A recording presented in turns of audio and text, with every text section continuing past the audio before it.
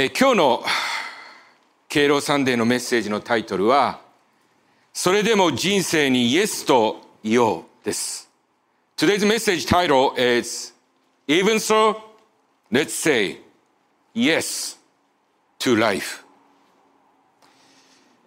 私たちの教会では毎年9月の第3日曜日を敬老サンデーとしています。これは日本国が9月の第3月曜日に高齢者を祝う日として定めているそのことを私たちの教会も長い間継承しお祝いしてきたものです。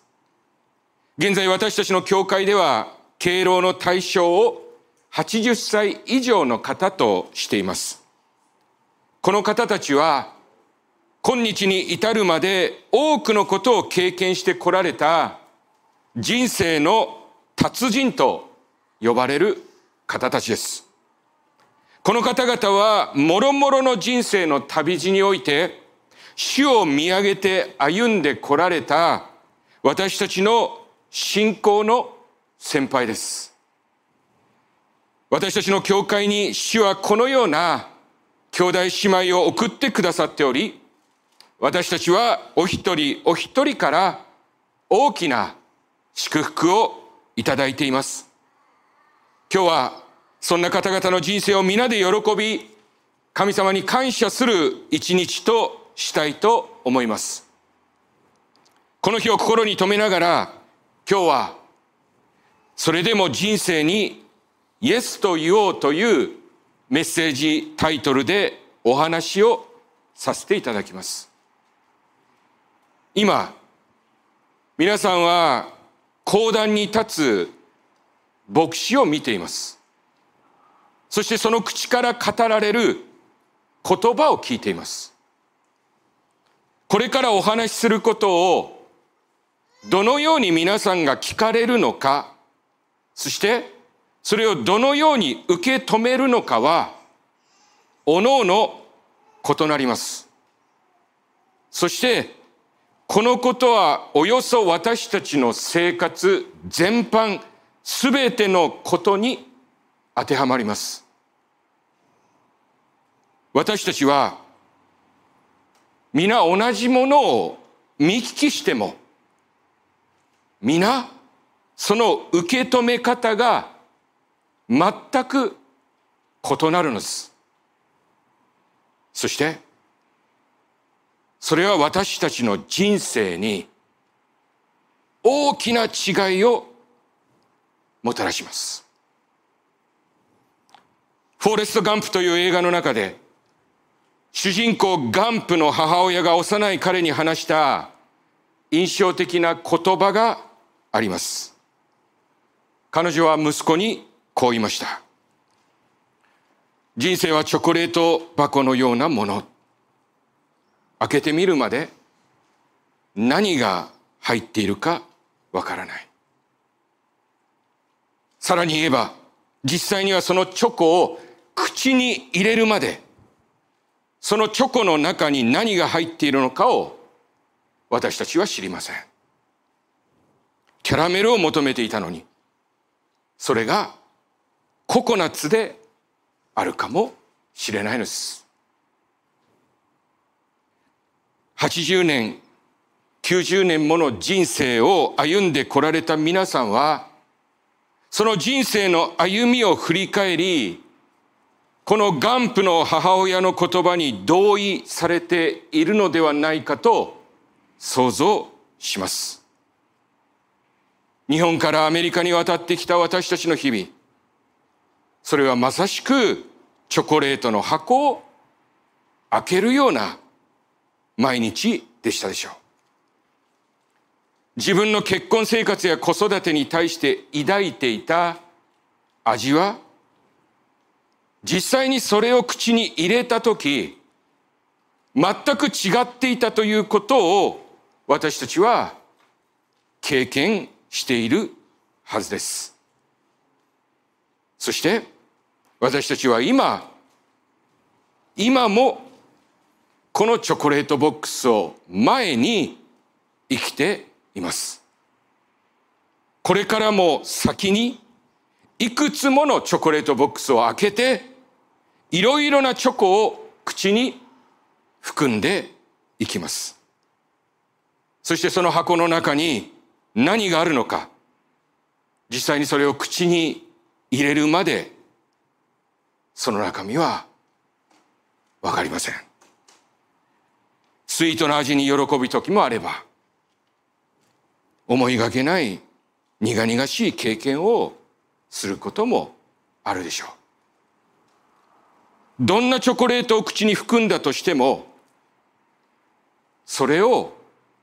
どのように受け止めるかということにより、そのチョコの意味は違ってきます。そしてこの意味が私たちの人生を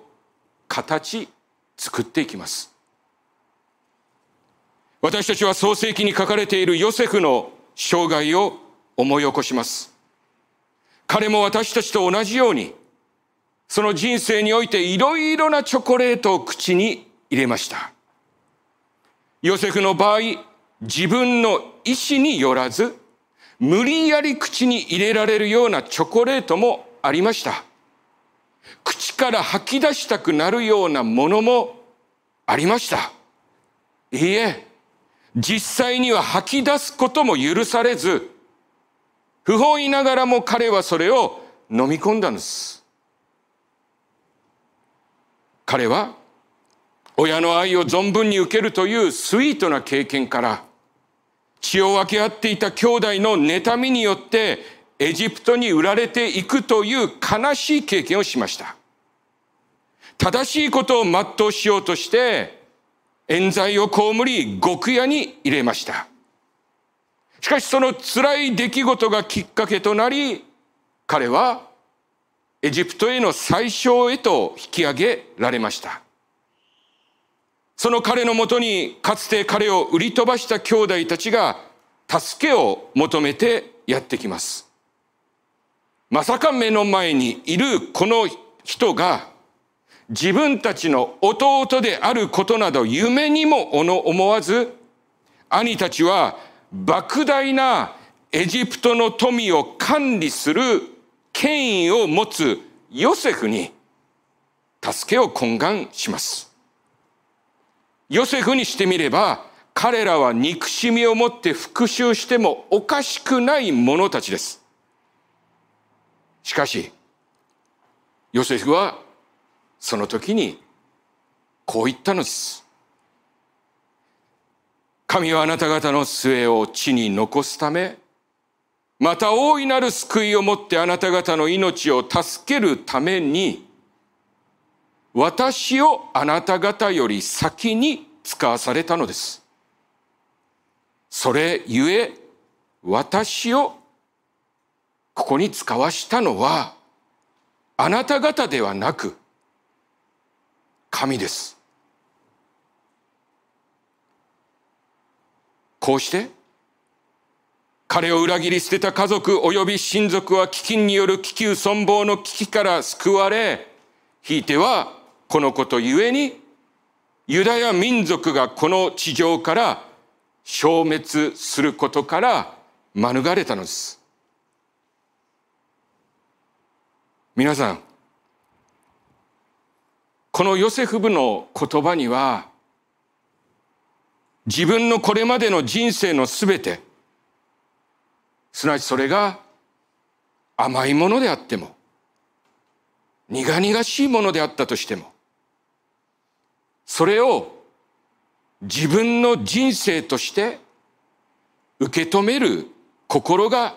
ありました。すなわち、彼は自分の人生に対して、それをすべて込みで、神の皆のもとイエスと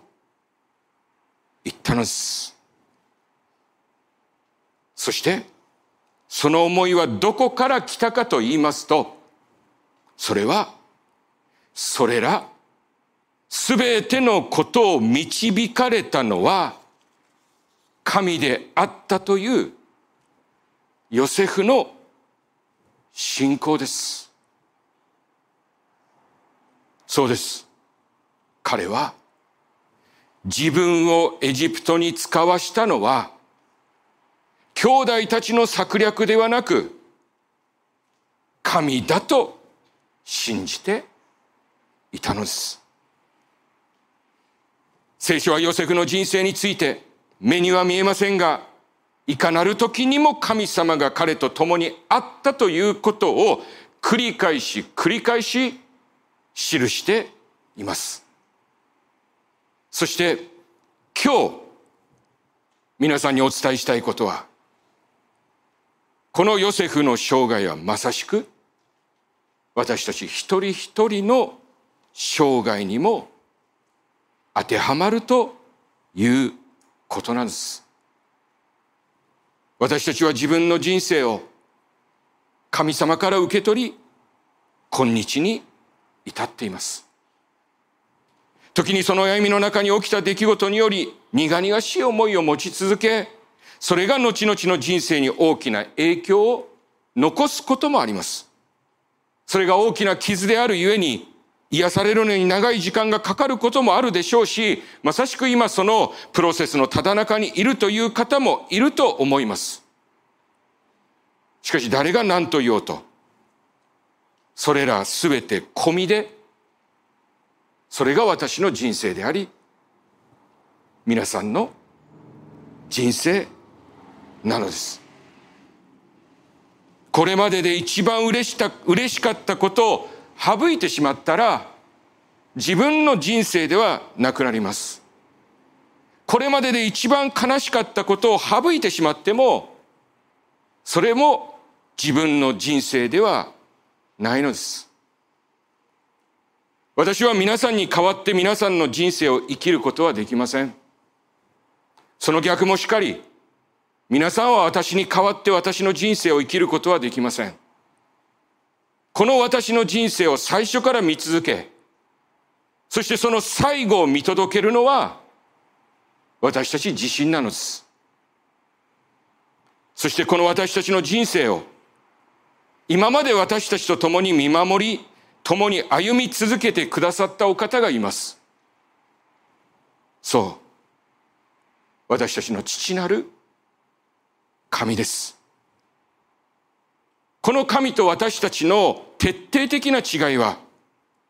このお方は私たちが見ることができないことまでもご覧くださり、私たちが知り得ないことまでも知っており、今日まで導いてきてくださったということです。私たちが知り得ないことの背後で、このお方が働かれていたということが事実であるならば、それを私たちはどのように受け止めるのでしょうか？何度も申し上げましょう。信仰によってこのことを受け止めるのです。私がこのことに思いを寄せるとき、私は何千年もの時を隔てたあのヨセフと同じところに立っているのです。ニューヨーク大学校内の壁には南北戦争を戦った名もなき一人の兵士の歌が刻まれています。大きなことを成し遂げるために強さを与えてほしいと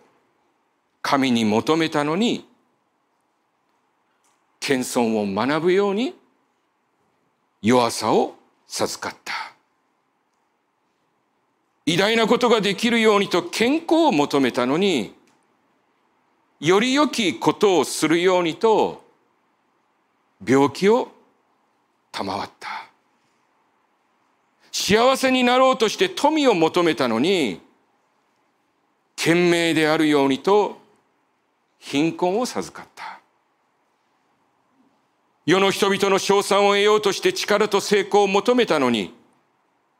得意にならないようにと失敗を授かった。人生を楽しむためにあらゆるものを求めたのに、あらゆるものを慈しむために人生そのものを授かった。求めたものは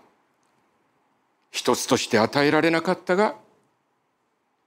願いはすべて聞き届けられた。私は最も豊かに祝福されたのだ。この無名の著者も、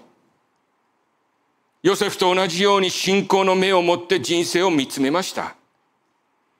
そしてそこには決してスイートとは思えない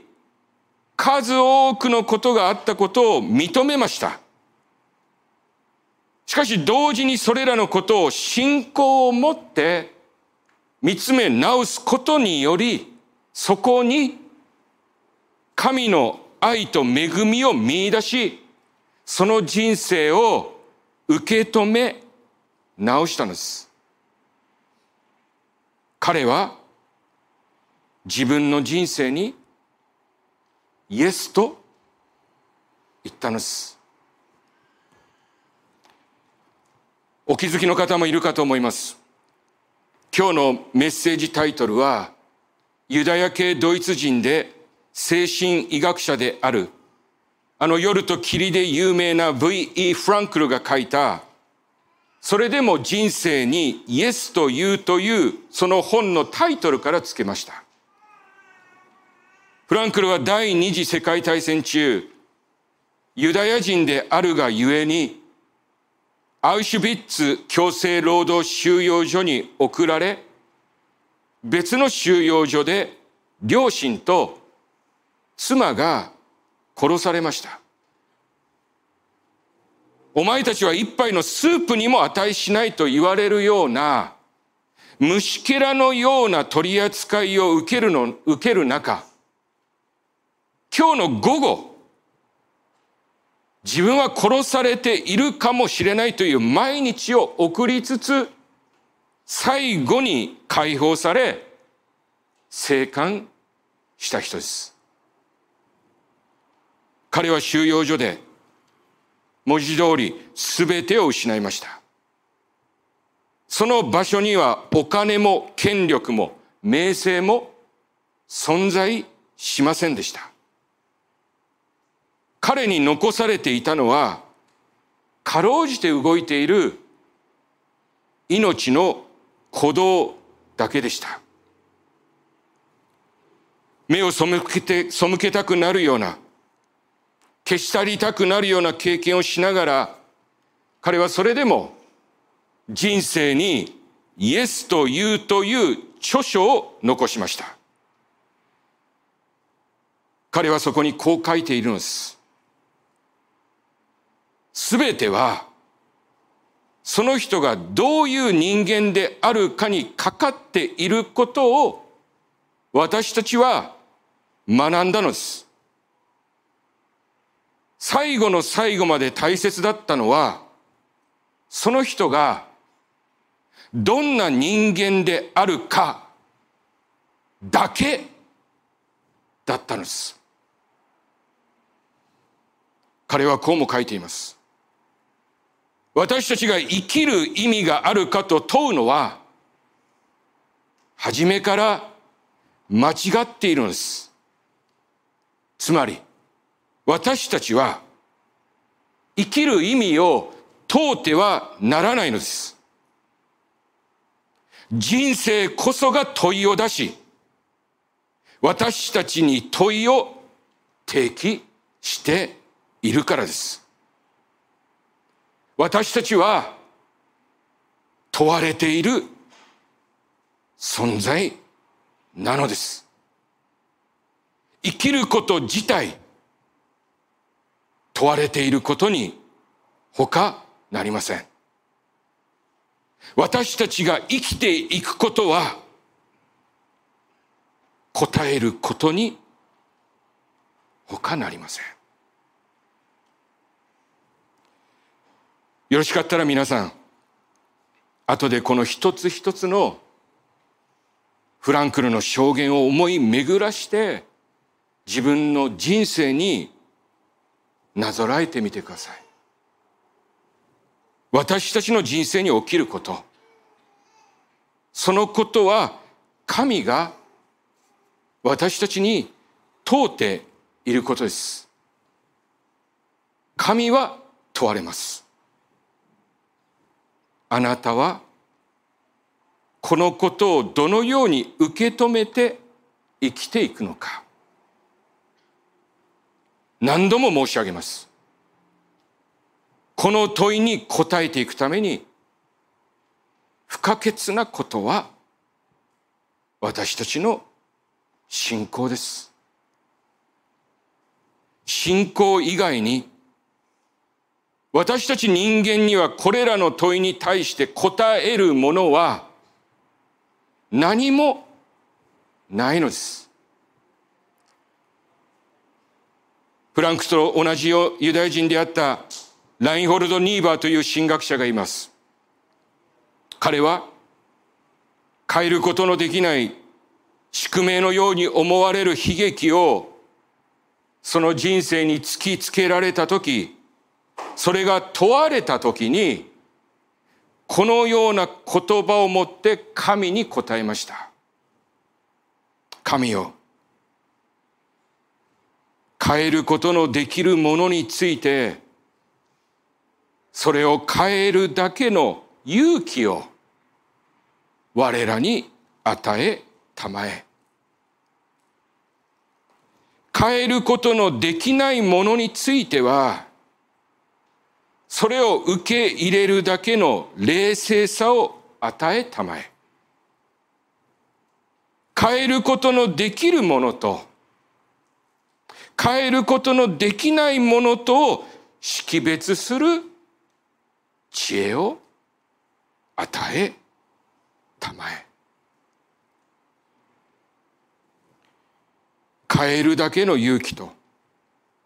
変えることのできないものを受け入れる冷静さとは何か。私は考えました。これらのことの根源にあるものは何か。そして思いました。それも信仰ではないかと。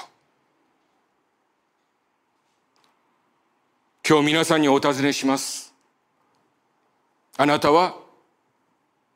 あなたがこれまで歩んできた人生をどのように受け止めていますか？それは素晴らしい人生でしたか？とんでもなくひどい人生でしたか？その人生にイエスと言えますか？それが甘いものであっても苦いものであったとしてもイエスと言えますか？私たちの信仰生活は自分の人生が主人生に主がいつも片時も離れずに自分と共にいてくださった。いてくださる。いてくださるだろうということを信じることです。最悪に思える、苦々しいと思えることですらも、主はそれを見過ごしていない。それを最善と変えてくださると生涯信じて歩んでいくことです。それはそれゆえ私をここに使わしたのはあなた方ではなく神ですと言ったヨセフの信仰です。俳優ハリソン・フォードには顎に傷があります役者として顔に傷があることは決して好ましいことではありませんある時その傷があることについて問われたハリソンはこう答えましたこの傷がなければ私ではありません。これまでで一番甘い思い出を省いてしまったら自分の人生ではなくなりこれまでで一番苦い思い出を省いてしまってもそれは自分の人生ではなくなります。アブラハムは女奴隷のハガルによってイスマイルを得、また信仰によってイサクを神に捧げました。それが彼の人生なのです。ペテロは三度イエスを否み、最後にはそのイエスのために命を捨てました。それがペテロの人生なのです。私たちは十字架におかかりくださったイエス・キリストの生涯と墓を打ち破って復活されたそのご生涯により救いと永遠に変わらない希望を抱いているのです。人生に起きる一つ一つの出来事を見るだけなら私たちは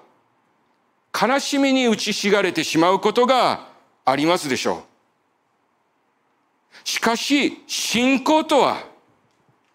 その人生のすべてを見つめておられ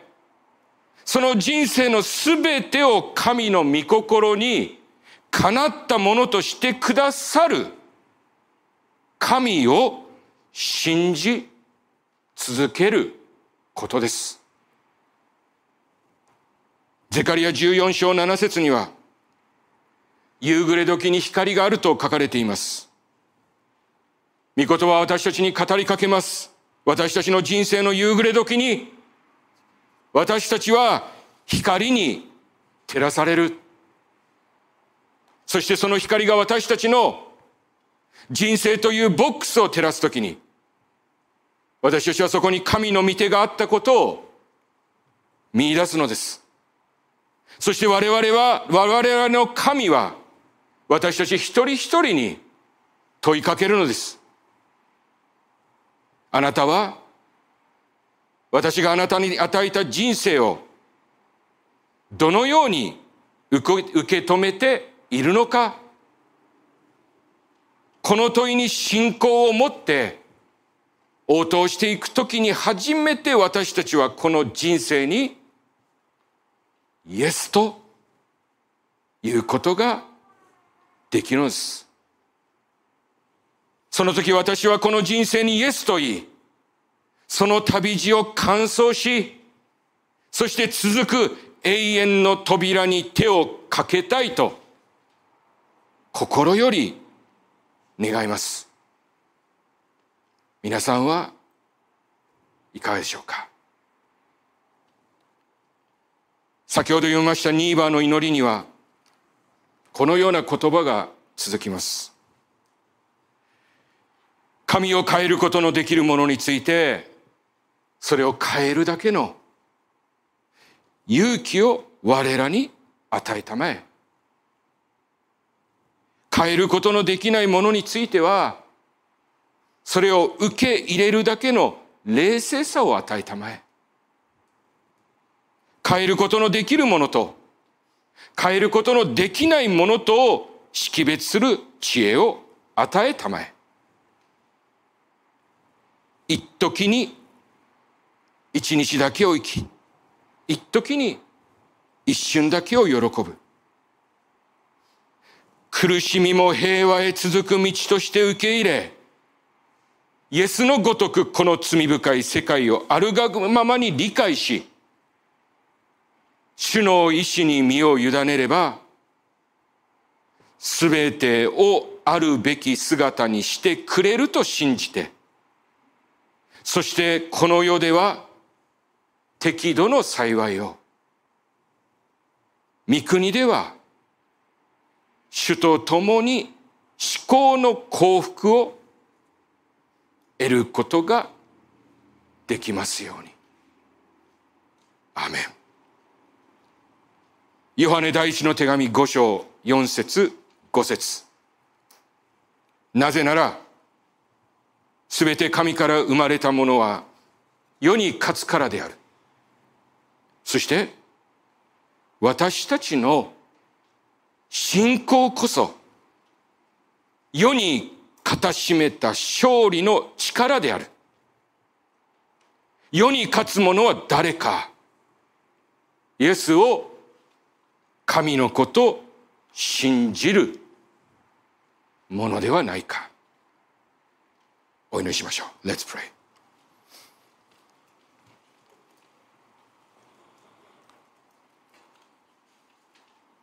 愛する天のお父様、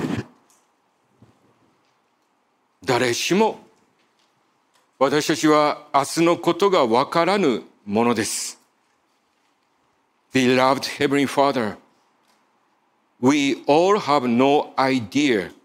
what tomorrow will bring. それはあたかもチョコレートボックスを開けて、それを口に入れるようなものです。It is like opening a box of chocolate and putting it in our mouth.